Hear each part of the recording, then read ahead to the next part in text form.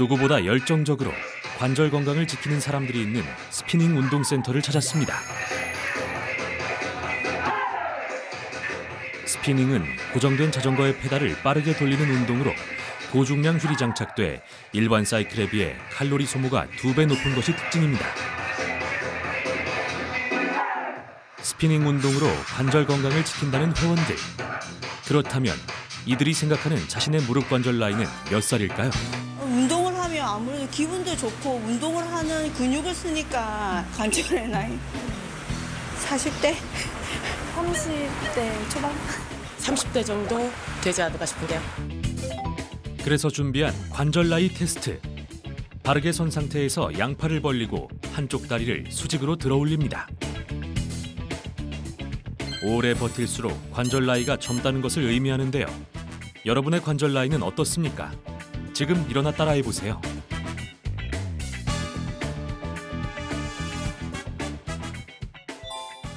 과연 이들이 희망하는 관절 나이가 맞는지 테스트를 시작해 볼까요?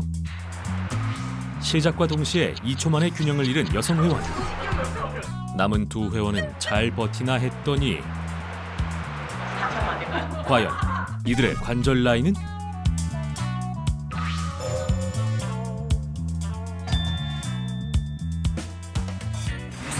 네. 실망스러워요. 난 저는 되게 튼튼하다고 생각했는데 테스트 해보니까 어, 이게 내 나이가 맞나 관절 나이가 그 누구도 자신할 수 없는 관절 건강. 어떻게 해야 관절염의 위험에서 벗어날 수 있을까요? 하루 약 10만 회 움직이고 평생 약 29억 회 이상 사용되는 관절. 관절은 우리가 걷고 뛰는 등 많이 쓸수록 닳고 닳아 염증이 생기고 통증이 발생합니다. 최근 5년 사이 퇴행성 관절염으로 병원을 찾은 환자 수는 연평균 약 400만 명을 넘어섰는데요. 최근에는 발병 연령대도 낮아지고 있다고 합니다. 40대 이후 급증하는 관절염. 그 누구도 예외일 수 없습니다. 건강한 노년을 위해 관절 건강은 더욱 중요시되고 있는데요. 관절에 발생한 염증은 관절 주변의 뼈와 연골을 파괴하고 녹입니다. 이 과정에서 극심한 통증을 유발, 심할 경우 관절의 변형을 일으킵니다. 더욱이 관절염은 남성보다 여성의 유병률이 두 배 이상 높다는데요. 국내 한 연구진에 의하면 여성이 남성보다 상대적으로 골반은 넓지만 걸을 때 양쪽 발 사이의 가로 간격이 좁아서 그만큼 무릎의 하중이 더 집중돼서 관절염에 취약하다고 합니다. 여성의 경우에는 갱년기 이후에 관절염이 악화되기도 하는데 바로 여성 호르몬이 줄어들었기 때문입니다. 때문에 여성들은 왕경 이후에 급격히 관절 연골이 약해지고 근육이 줄어들기도 하며 골밀도가 감소해서 관절염에 취약해질 수가 있습니다. 출산과 통풍의 고통보다 더 심한 인간이 겪는 가장 고통스러운 통증을 유발하는 관절염.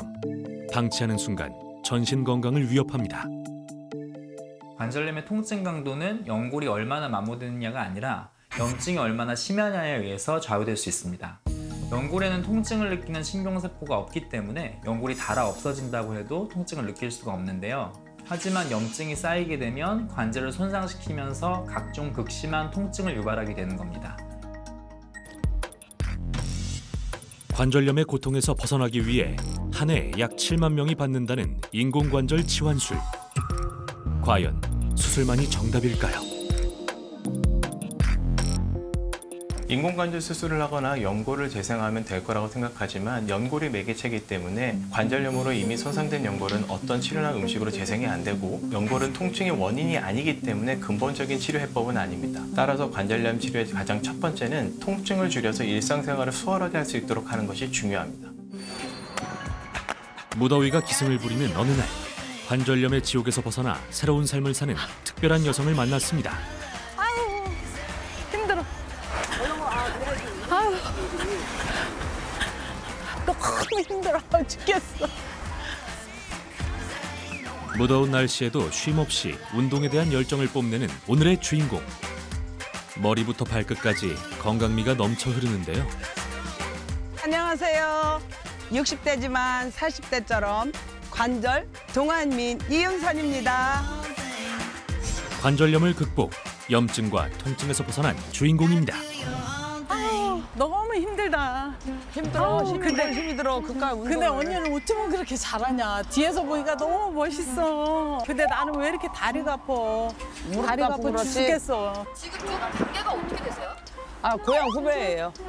동생이세요? 아, 내가 언니 같잖아요.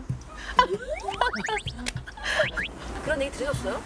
어, 사람들이 딱 보면 외모에서 딱 풍기는 게 있잖아요. 나는 좀 넙대하기도 하고 걷는 것도 안 좋고 여러모로 동생인데 난 너무 억울해. 동생도 예쁘고 고운데 관리를 잘해서 이렇게 함께 다니면은 40대 후반, 50대 막 이럴 때는 진짜 기분이 우쭐하고. 수많은 노력 끝에 관절염에서 해방돼 제2의 인생을 산다는 윤선 씨. 하지만 불과 4년 전만 해도 그녀의 삶은 암흑과도 같았는데요. 앉았다 일어날 때 못으로 뭐를 찔르면 우리가 깜짝 놀란다잖아요. 그런 느낌이에요. 아, 아우 이렇게 된다니까 나도 모르게 주저앉아서 그냥 그 자리에서 누워서 그냥 울다가 잠든 적도 있고. 50대 후반 예고 없이 찾아온 관절염의 통증은 활동적이었던 윤선 씨를 집안에만 가둬뒀습니다. 예쁜 옷 정장만 입고 7cm짜리 구두를 신었는데 그건 어감사시 무릎이 아파서 그냥 고무줄도 아닌 바지에다가 이렇게 입고 다니니까 나이 먹는 것도 서러운데 이렇게 또 몸까지 이렇게 망가지는구나 하는 그런 슬픔과 우울증에 빠져서 살고 싶은 생각이 솔직히 없었어요 그 당시에는 극심한 통증과 우울감이 가득했던 시간 속에서만 살 수는 없었다는 윤선 씨.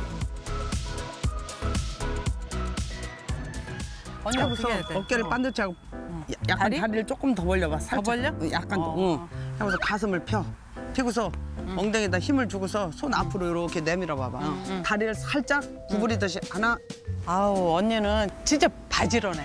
본받을 게 참 많아요. 옛날엔 계단 한 계단도 못 올라갔어요. 근데 지금은 얼굴 혈색이라든가 이 표정이라든가 그런 게 아주 자신감이 넘쳐 진짜 너무 좋아져가지고 관절염 극복에 도움을 준 것이 있다는데요. 아, 이게 뭐예요? 내가 관절이 많이 아팠잖아. 이건 천십년 추출물 파렉틴이라는 건데 내 관절 건강에 굉장히 많은 도움을 준 거야 이거. 윤선 씨의 관절 건강에 도움을 준 천십년은 정확히 어떤 것일까요? 천십년은 세계 전통 의학서적인 아유르베다, 유난히 의학서에 기록될 정도로 오랜 기간 사용된 약용식물인데요. 염증을 가라앉히는 데 도움을 준다고 합니다. 관절염에서 염증 관리가 중요해지면서 주목받는 항염증 성분이 있는데요. 바로 천십년 추출물인 파렉틴입니다. 천십년 추출 파렉틴은 관절 건강 기능성 신원료로 소염 진통 물론 뭐 항바이러스, 항균, 해열 이런 면역 작용도 있는 걸로 알려져서 천십년 추출물 파렉틴은 미국에서 13년의 연구 끝에 탄생한 관절 건강 기능성 원료로 식약처에서도 관절 건강에 도움을 줄 수 있다는 기능성을 인정받았다는데요. 미국과 유럽 등 선진국 약전에서도 등재되어 있는데요. 해외 일부 국가에서는 천십년이 염증의 심각성을 줄일 수 있다는 점을 들어서 국가 필수 의약품 목록으로 지정, 병원 등 공중보건 서비스에 사용되기도 했습니다.